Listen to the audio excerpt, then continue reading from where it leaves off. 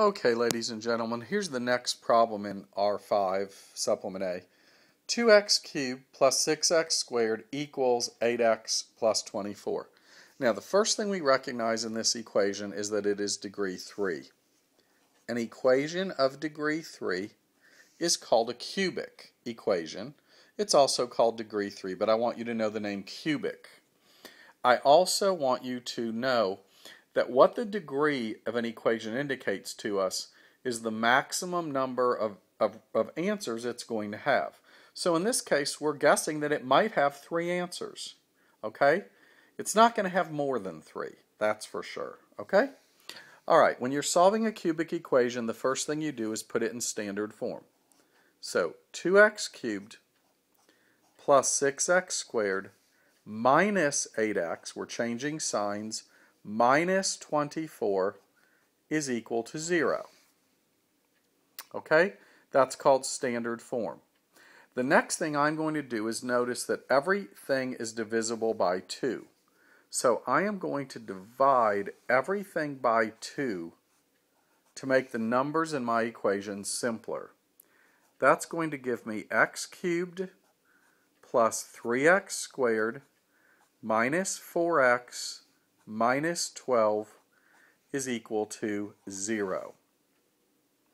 Anytime you see a number that an equation, that every term in an equation can be divided by, I think it's a smart idea to do it.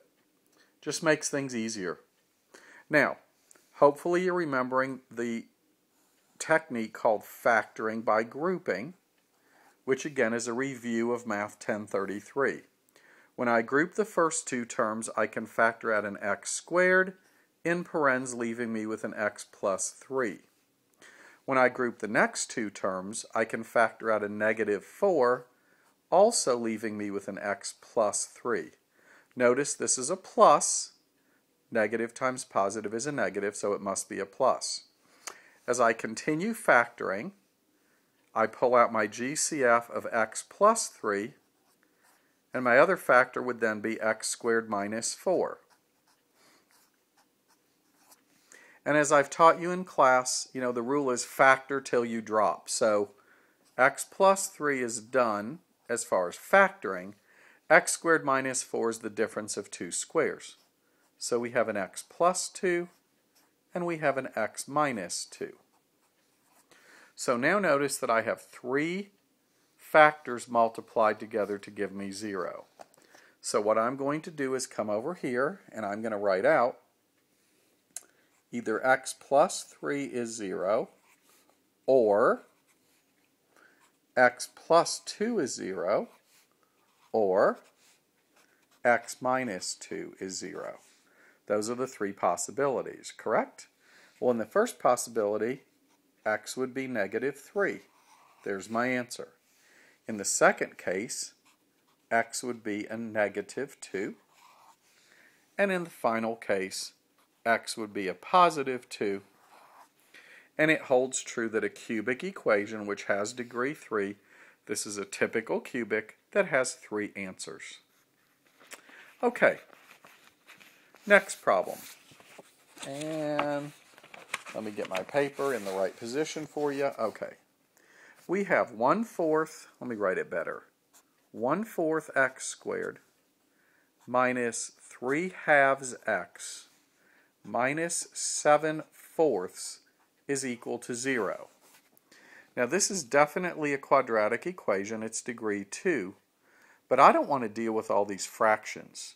So I'm going to look at all these denominators, the 4, the 2, and the 4, and a number that they will all go into, you know, that, you know, they just will make them all disappear is the number 4. So if I multiply this equation by 4, I'm going to say bam, bam, bam, and bam. And by bam, I mean multiply by 4. The first term becomes x squared minus, look what happens to the next term. The 2 cancels into the 4 twice. 2 times 3 is 6, 6x. The 4's cancel, minus 7, and 0 times 4 is 0. Look what I have now, a very clean quadratic equation. And in fact, it factors beautifully as x minus 7, quantity, and x plus 1, quantity. Very nice.